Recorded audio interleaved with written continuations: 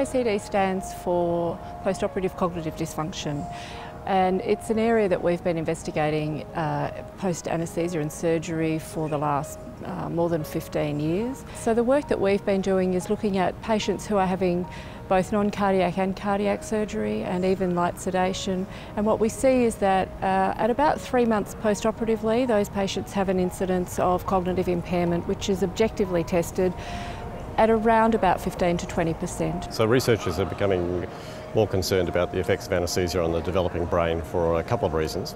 Firstly, the experiments which have been done in animals, which have been known for about a decade or so, have shown that if you expose juvenile animals, and some of the animals actually grow up with some neurodevelopmental problems.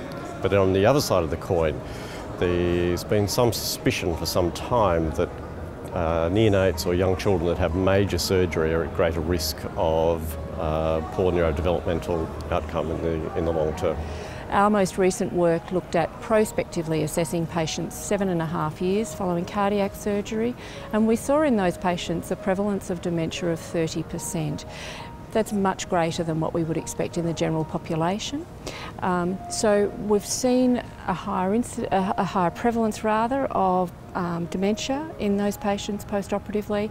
Again, the predictive factors were uh, peripheral vascular disease and if the patients had some very subtle impairment at baseline. So although the patients weren't demented at baseline, um, they have a very subtle impairment that's only accessible by using a battery of neuropsychological tests and that was highly predictive of having longer term dementia. One thing that's important is not delaying the surgery, not avoiding anaesthesia and also the anaesthetist shouldn't try and use some sort of weird anaesthetic technique which they're not familiar with because anaesthetising children is, you know, it's, it's a reasonably complex, it's a reasonably risky thing to do. And if you try and do something novel or different, then it might actually be worse for the child. So you don't want to replace a theoretical risk with a real risk by doing something weird with your anaesthetic. As far as anaesthetic agents are concerned, there's there's really nothing that the anaesthetist can do in terms of choosing anaesthetic agents that are going to have a better outcome from a cognitive point of view. As far as the family are concerned, Patients can be educated, patients should be aware of the risk that there, there is a small proportion of patients, but nonetheless a proportion of patients over 65 who have a cognitive insult.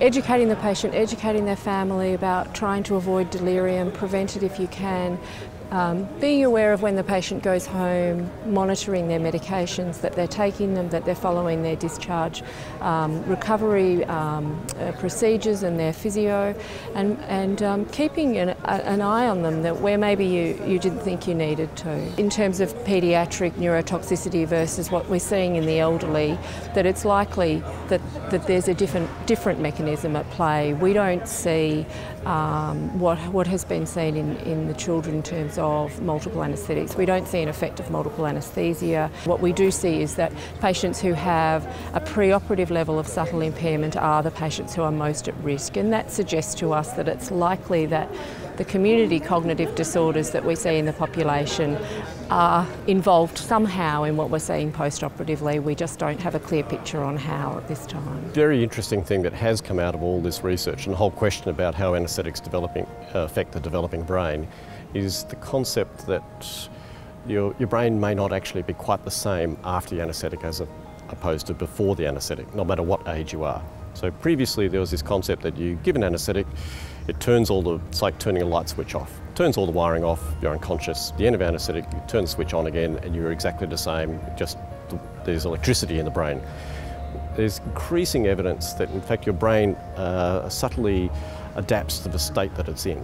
And so if you anaesthetise the brain, your brain actually rewires or the dendrites alter to adjust to that anaesthetised state. So it has rekindled that whole uh, idea that the anaesthetic is actually not just a benign state. And I'm not sure where that'll lead, but it's probably the most interesting thing that's coming out of all this research looking at the effect of anaesthetics on the developing brain.